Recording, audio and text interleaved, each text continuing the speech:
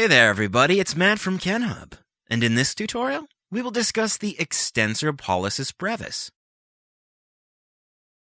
The extensor pollicis brevis muscle is one of the five deep extensors of the forearm.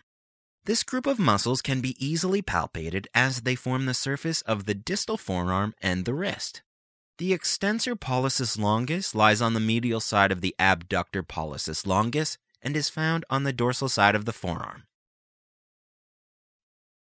The extensor pollicis brevis originates more distally at the posterior side of the radius and the interosseous membrane and has its insertion at the base of the proximal phalanx of the thumb. Like all extensors of the forearm, this muscle is innervated by a deep branch of the radial nerve, which is seen here highlighted in green on this image. The radial nerve divides into a superficial branch and deep branch at the height of the radial head. While the superficial branch runs along the brachioradialis, the deep branch continues between the two layers of the supinator. There, it penetrates the supinator muscle and branches off as the posterior interosseous nerve, which is responsible for the innervation of almost all deep extensors.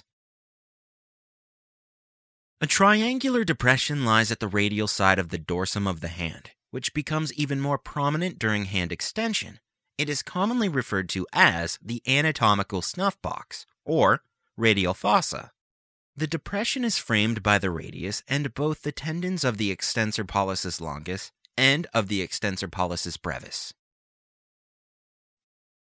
The main function of the deep extensors is to move the joints of the hand and fingers.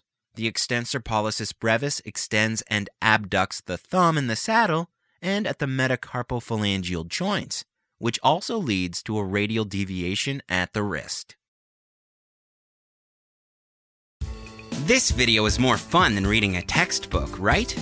If you want more videos, interactive quizzes, articles, and an atlas of human anatomy, click on the Take Me to KenHub button. It is time to say goodbye to your old textbooks and say hello to your new anatomy learning partner, KenHub. See you there.